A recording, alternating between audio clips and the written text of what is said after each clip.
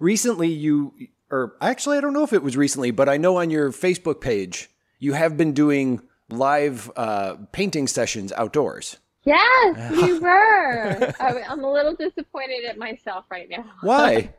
There's a, as you know, it takes a lot of planning to do you know, even though it looks like I would, I, you it does. set up the lights or set up the equipment. It's physical. Uh, it does gotta when you pay it. attention to it. Uh, it. Let's put it this way: Yeah. the most amount of effort that I put into doing video is when we were setting up to do this interview. It's probably the most that I. Most of the time, it's like I'm going to turn my phone on. I have an idea, and I should Yeah, think it yeah. through, but I don't. So you even uh, and I see the umbrella behind or uh, the parasol behind you. Uh, I know that you've parasol. you've used that in it a lot. Like you'll start the video wear by the color blocking. purple too. So when did you decide to start doing those live uh, those live video sessions? Which I have Actually, some of the people I've been talking to, they've I've been noticing it more and more, which is a good thing. And I don't know if it's oh, because of awesome to hear. yeah it's awesome to hear. We were doing it for free, Kate and I. And it started with the pandemic, just like we lost our clientele, we lost our students, everybody was kind of lost. yeah Um, so I just kind of said to her, let's just say every Wednesday we're gonna do a little hour tutorial or an inspirational thing just to keep people out of their own heads and help them deal with this kind of problem right because we've never experienced this before. Anybody can say, oh, I've had this, I have this, but to empathize with everyone's experience, hmm um, that's, that's an arduous, uh, task. So I didn't feel confident. I, I, not confident. I didn't feel it was right to charge at the moment when Right. everything was happening. Like, hey, we're going to do Zoom classes.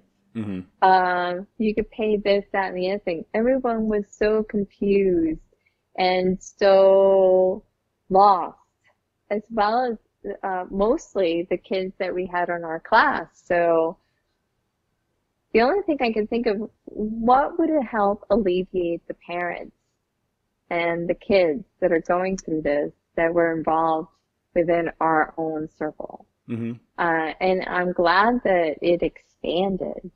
And I hope to do more. I want to do more. So I'm feeling a lot better. So Good. there will be more. Um, Kate's going to handle the Zoom classes.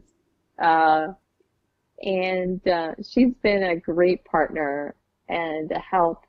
I'm glad that I've been able to mentor more people to do the same thing and just to give them another way of learning how to be a, a productive artist, Mhm. working artist.